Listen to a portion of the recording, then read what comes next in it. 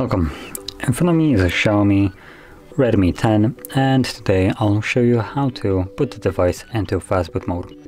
And to get started all you need to do is hold the power key, select power off and once the device turns off you want to hold power key and volume down at the same time. So I'm gonna do that right now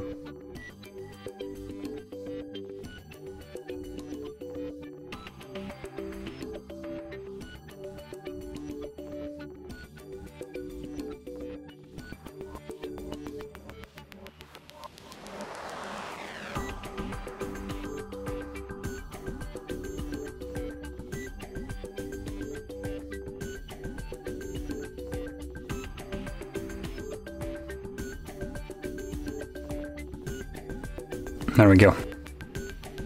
So that is how you boot it into the fastboot mode. And to leave this mode, all you need to do is hold the power key uh, for as long as it takes for well, the screen to turn off. So I'm gonna do it right now.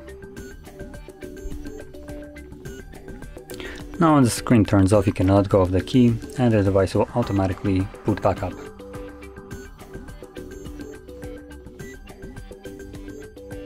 And there we go.